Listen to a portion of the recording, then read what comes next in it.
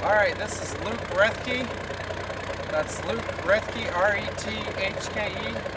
And uh, today I'm going to show you how to seat up the bead of a tire on a skid loader here because it, it won't hold any, any, or it won't, it won't take air.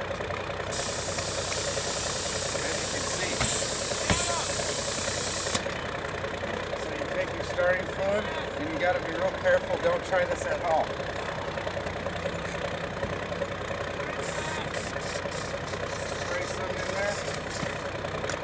Your.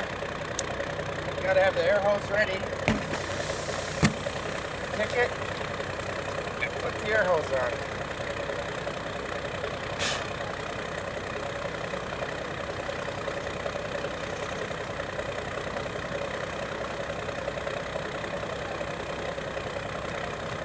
Get the full uh, explosion effect, but it did work.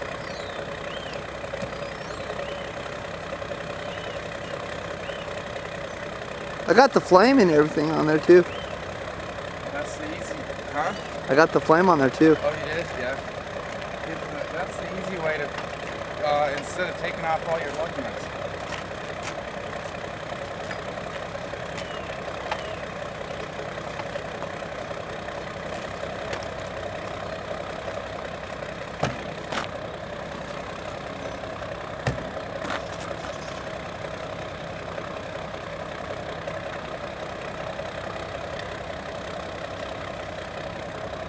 That's it.